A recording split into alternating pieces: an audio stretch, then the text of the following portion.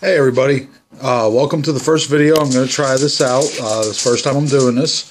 Uh, this is going to be the first video of hopefully a bunch of videos coming up for us to do reviews of basic different types of mods and everything that we have and that we're getting and I'm trying out and hopefully this will be more informational for you guys. Uh, first couple things I want to say is my name's Draven. Um, everyone know on Facebook who's part of the group who sees me, Draven Peliquin Sa Diablo. Um, I'm going to try to keep that going and try to keep this, like I said, moving along for us. First thing I want to go over today is the Magneto with the RSST. It is a rebuildable atomizer. Uh, right now I have a stainless steel wick in here with flat wire Kanthal, uh, one millimeter. With this, it holds about two and a half, give or take, uh, milliliters of fluid. It's not bad. It actually works out really nice. Um, right now it's on a 1 ohm. You can actually adjust it depending on how many wraps you put on it. Each wrap you put on changes your ohmage.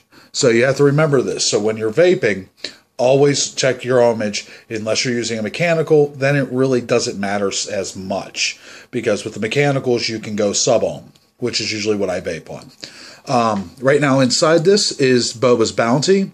Um, delicious flavor, kind of chocolatey, kind of nutty, little bit of a graham cracker taste. I love it though. Uh, it's 100% VG.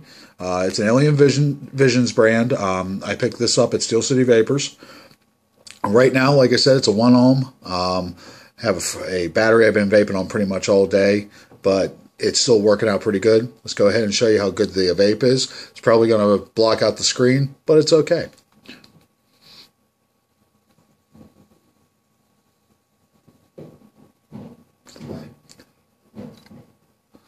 Great vapor production. The flavor is unbelievable. I love the flavor off the, on this rebuildable. Um, very simple, very good rebuildable. The plastic on it is fully all the way down to the bottom. So it's basically a cup so when you put your stainless steel mesh in or your wire stainless steel wire in, it will actually you can take it all the way down to the bottom and you don't have to worry about a short.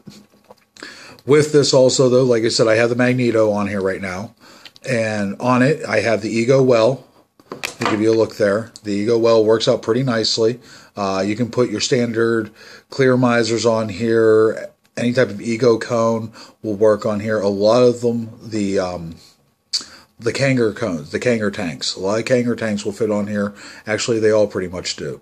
Works out great. Like I said, it's a straight mechanical, has a magnetic button, so there's no springs. With that means you have two rare earth magnets inside. With both of these, as you can see when it's down like this, when I just get it close there, you can see it raise up. Do that again.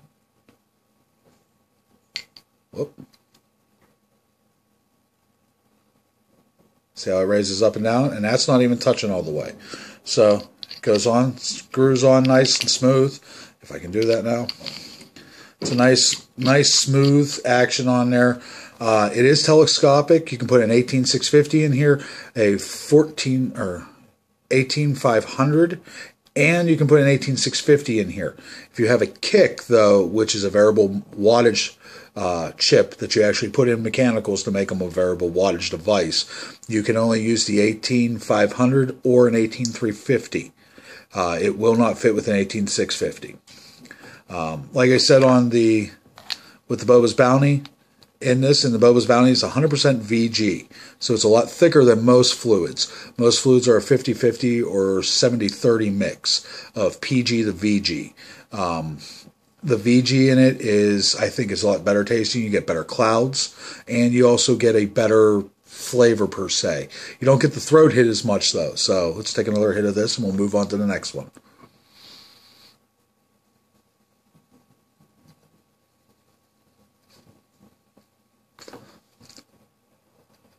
Something else I want to let you guys know, it does come with a stainless steel Ming tip. Um, this does not come pre-built. You have to build it. Um, if you do get one and you're having some problems with it and you're wondering why you're not getting any juice or anything and it's not it's getting some dry hits, there comes a plastic or silicone plug in there. Pop that out, put it somewhere safe so you can actually somewhat keep it on its side occasionally. This is your juice hole. With the juice hole, if you take that out, you won't get what they call vapor lock. Vapor lock is when you won't get any fluid coming up because you have too much of a vacuum. Excuse me. Um, the other thing is, forgot to also mention about this. I'm moving on. Don't worry, folks. Um, the hole where your wick goes is insulated with another rubber washer with another stainless steel ring inside that. So you don't have to worry about shorting out. A lot of rebuildables, when you're using them, you have to wrap the stainless steel so that it doesn't touch the rest of the top cap because that pretty much is where your ground is. Um, by doing so, you will short it out and possibly damage your battery or your mod. So you want to be careful with that. So, and there's no screwing it on. It just, one O-ring, keep your air hole over your wick. By doing that, it keeps a good airflow and you get more vapor production. So, that's with the Magneto. Great device. Love the device. Also picked it up at Steel City. Um, all the products I'm showing you right now, I've purchased. Nothing was given to me. Um, I love the products I have right now. Um, I have a couple other, uh, another one I'm going to show you here. Um, not too much on the device, but I can go into the device because some people have asked me about it. Um, the new one I'm talking about now is going to be the Rocket. The Rocket is a Kayfun clone. Um, it's got an adjustable airflow. It can also be turned into a dripper. Uh, for those who don't know what dripping is, dripping is when you drip directly onto your coils or atomizer, three or four drops depending on how big your wick is, and then you take a hit. Um, usually you get more of a flavor hit off of it. With this one, you get the same thing with it being in a tank, though. Um, right now, unfortunately, I have it already pre-built and filled up because I've been using it all day before I did this review. Um, it has the adjustable airflow. The adjustable airflow is right there. This is your air your air intake. This here's adjust your airflow into the tank itself. It has a Allen wrench screw in there. You would take that, you tighten it for as much of a draw you want, or loosen up for a more airy draw. On the other side, there's another spot here. This is where it says where you can drip directly into it without taking the top off. I'm a little skeptical about that because it's such a small hole and it seems like I would get fluid everywhere and I love my fluid. So, with this one, it comes apart in multiple places. It comes off here off the base, which will then take off the whole top section. The plastic, it is a plastic though, not a glass. It is plastic. So you got to be careful your tank killers, which are your cinnamons, your bananas, your citrus, your cherries. They will crack your tank if it's plastic or polycarbonate. Um, this polycarbonate tank does unscrew from the rest of it, so you can take it apart and clean it. Um, I have put them through dishwashers. They are dishwasher safe. Make sure that you keep them in something that's not going to make them knock around all the time.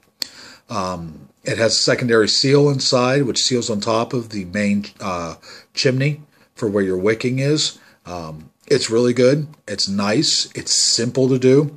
Um, I personally would suggest taking it and taking it apart immediately. Take the chimney off. Take out the wick that it comes with. It comes with a 1.8 ohm uh, wick right now. I don't like the coil. I last night went and rewrapped it with a micro coil using 30 gauge Kanthal. I got 1.8 ohm out of it and I use cotton balls. Cotton balls are a great wick system. I love them. They're great. They also taste really good and you get a really good flavor out of it.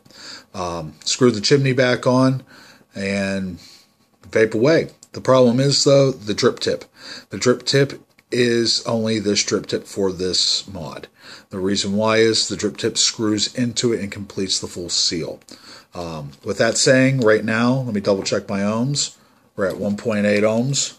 If you can see, no, it's going to be backwards. Sorry about that, folks. Um, and I'm vaping on 12 watts. This is my Tesla.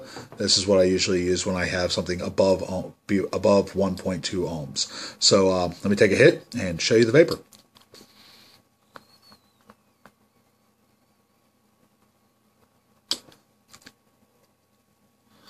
Great vapor production. Flavor is unbelievable. I've run three different flavors through this tank without changing the wicks, and it is still a phenomenal hit. Uh, first thing I ran through was a Boba, Boba's Bounty clone. Uh, that clone was a 50 50 mix at 12 milligrams. Got that from Catscale Vapors. Um, if you like banana, this is it. If you like Boba's Bounty, this is not it. But it works and it takes the place if you're a Boba's Bounty fanatic like I am.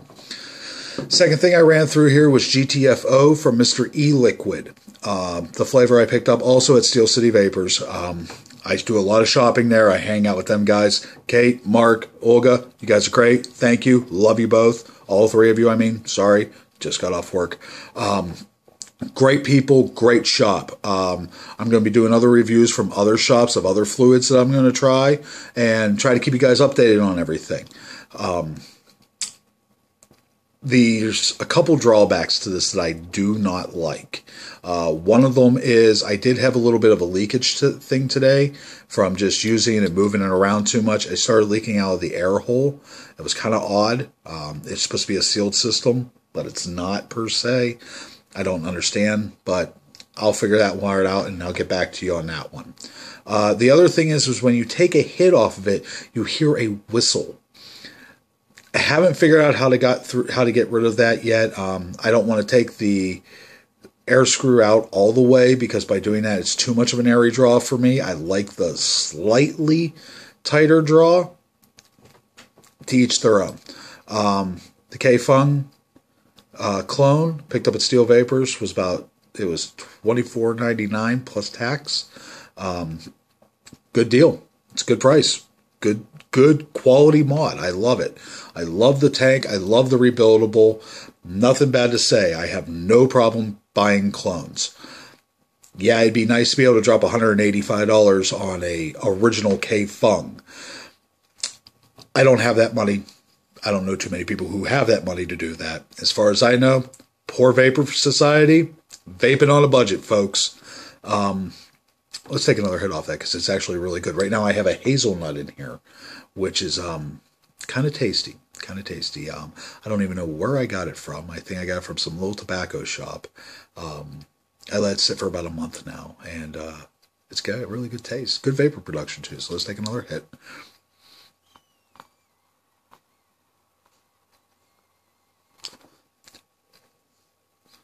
That's beautiful. I love it when the screen just goes in total vapor. Um, for those of you who are wondering, the Tesla. Tesla, sturdy device. I've had this Tesla for almost a year now. It has it's made of a, uh, aircraft aluminum. It's a sturdy mod. It's great. It takes an 18650 unprotected battery. Uh, variable voltage, variable wattage. The voltage goes up to 6 volts. Wattage goes up to 15 watts. Um, for those of you who are new to voltage and wattage, how this works is, is pretty simple. What you go and do is look at it as driving a car. Voltage is a manual, it's a stick. You have to sit there and click it in one increment at a time till you find that perfect spot. And that's how what you dial it in on that atomizer or cartomizer or clearomizer or pro tank, whatever you're using. Wattage is automatic. You put it on there, you adjust your wattage, boom. Whatever you put on there should vape the same way it vapes on everything else. If that happens, you're rocking. If not, occasionally you got to bring it down some, take it up maybe one notch, down a notch to get your flavors in. A lot of people prefer voltage over wattage. Me, I'm kind of indifferent. I play with both. I've been lately leaning towards more wattage style because I know what I like to vape on. I know where my wattage is. I'm a high wattage, high voltage vapor. I'm a cloud chaser. I want to see those plumes of cloud flying out as I'm vaping. So, with that, the Tesla, great piece, aircraft aluminum, sturdy piece. You can see right in here, I have a nick that I put in there from dropping it too many times. Uh, the bottom of it says Tesla which is pretty cool. Once again, I do apologize for the backwards camera. I'm recording this off of my cell phone because my webcam sucks. But anyway, though, um, OLED screen, you can go through, you can make it say your voltage for your battery, voltage for your what you're vaping on. Um, you can set it up for your battery life. You can set it up. You can turn it off. You can turn it on. Um, you can set it up so you know how many ohms you're vaping at at any given time. It's a very good advanced starter mod. Actually, it's not even good for a starter mod. It's just an awesome mod. I love it. Drawback to it is the Adjustable pin in the center is great. I love that fact. The problem is it has a habit of leaking into the battery chamber. This was a problem that they figured out, and they iVape decided they were changing that. Uh, they now have a solid pin in there, and the main reason why is because it messes up the fire button. Fire button is pretty clicky. It's nice. Problem is mine doesn't always like the fire because my fire button's messing up. I plan on getting a new one. They come in black, uh, black chrome, and chrome. Um, I want the black chrome. They're always sold out. Sooner or later, I'll get one. Um, vapor wise, once again, on this with this tank, I love the tank. The tank is a great price. It's a good setup. Um, it is a bottom feeder, and once again,